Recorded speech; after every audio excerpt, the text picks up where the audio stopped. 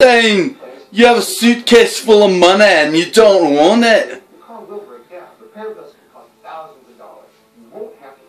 Are you saying you have a suitcase full of money and you don't want it?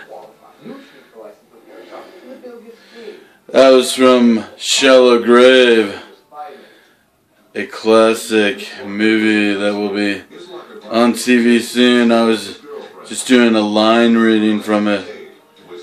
Ewan McGregor and uh, Christopher Eccleston and Kerry Fox find a suitcase full of money and a lot of uh, unfortunate events take place after that. You should watch it sometime.